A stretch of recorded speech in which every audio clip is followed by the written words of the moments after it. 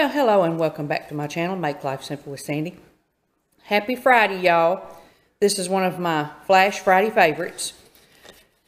Y'all, I have absolutely fell in love with these spray lotions. They're not the deep conditioning, you know, kind, but I can literally put it on and then put my clothes on. You know, it, it dries real fast. It's got just enough in it to kind of feel like you're getting a little bit of a lotion and it's easy to use. It sprays on, you rub it in. You don't have to go wash your hands after, which normally I have to. But uh, my now the St. Ives is the first one I tried. I don't know if they still have that. I had a couple of cans of that. I used it up. Then I found the Vaseline Intensive Care the spray and go. Now this is the, and yeah, this is the intensive care. This is the spray and go. Now this is the older bottle. This one's almost empty. I've just about finished it up.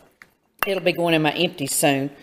Uh, then I've got this one, and y'all, I was looking for this to show you this, so I'd have more than one to show you.